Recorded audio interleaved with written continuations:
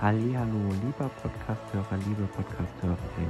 Ich grüße dich zu meinem Podcast Michael Weihrauch, dein Podcast für Verkauf, Vertrieb und Persönlichkeitsentwicklung. Ich wünsche dir jetzt viel Spaß bei meinem Podcast. Wenn das Spiel nicht so gelaufen ist, Bayern feuert Nagelsmann.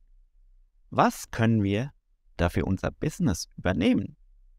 Herzlich willkommen zu einer neuen Podcast-Folge. Heute geht es um das Thema, wie du schon gehört hast, wenn das Spiel nicht so gelaufen ist. Und was können wir für unser Business da übernehmen?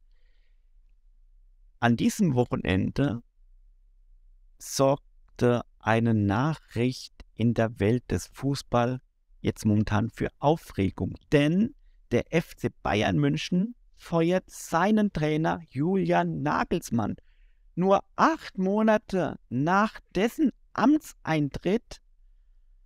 Der Grund dafür, die Mannschaft hatte nicht gewünschte Ergebnisse erzielt.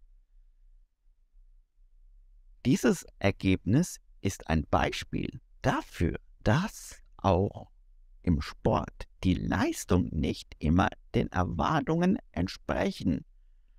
Und das gilt auch für uns in der Geschäftswelt. Wie reagieren wir, wenn unsere Pläne scheitern oder unsere Ziele nicht erreicht werden? Die erste Lektion, die wir aus der Entlassung von Nagelsmann lernen können, ist die Bedeutung von Verantwortlichkeit als Trainer, respektive als Chef, CEO, selbstständiger Unternehmer war seine Leistung der Mannschaft verantwortlich zu sein. Beziehungsweise als Trainer musst du Leistung der Mannschaft verantwortlich bleiben. In der Geschäftswelt müssen wir auch Verantwortungen für unsere Entscheidungen und die Ergebnisse unserer Arbeit übernehmen.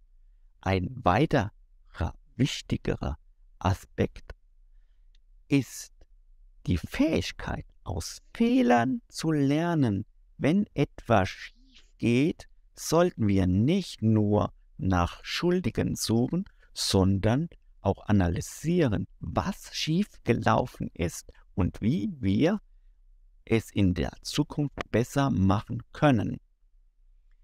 Und eine weitere Lektion ist, denn wir berücksichtigen sollten, ist die Bedeutung von Flexibilität und Anpassungsfähigkeit. Wenn unsere ursprünglichen Pläne nicht so funktionieren, müssen wir bereit sein, unsere Strategien anzupassen und neue Wege zu finden, um unsere Ziele zu erreichen. Und das ist egal, welche Ziele das du erreichen musst oder sollst.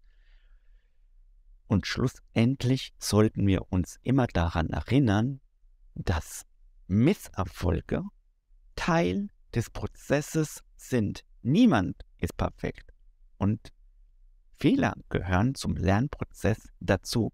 Wir sollten uns nicht ermutigen lassen, sondern weiter hart arbeiten und unsere Ziele zu verfolgen. Insgesamt können wir also aus der Entlassung von Nagelsmann eine Menge für unser Business lernen. Verantwortlichkeit, Lernbereitschaft, Flexibilität, Durchhaltevermögen sind nur einige der wichtigen Aspekte, die uns helfen können, auch in schwierigen Zeiten erfolgreich zu sein. Und jetzt möchte ich dir noch eine kleine Anekdote auch so sagen von mir. Ich bin der Freund von Fehler machen und von Fehler lernen. Ich habe auch selbst analysiert und habe ja auch schon einige kleinere ja, Fehler ja auch eingestanden. Und das waren für mich Learnings. Jeder Selbstständige, whatever, jeder Unternehmer macht Fehler und muss Entscheidungen treffen. Aber daraus entstehen halt auch neue Chancen, neue äh, Challenges, whatever. Wie sagten auch ein Wolfgang Krupp. Wir müssen bereit sein, auch mal dazu einzustehen. Nur das jeden Tag zu machen, wo dir Spaß macht, ist das Wichtigste an deinem Beruf. Du bist doch selbstständiger Unternehmer oder Unternehmerin geworden, weil du ja mit deiner Vision, Mission ein Teil der Wirtschaft beitragen willst und auch somit den Standort Deutschland verbessern willst, damit deine Dienstleistungen, Produkte in Deutschland produziert werden, in Deutschland, ähm, whatever, anerkannt werden.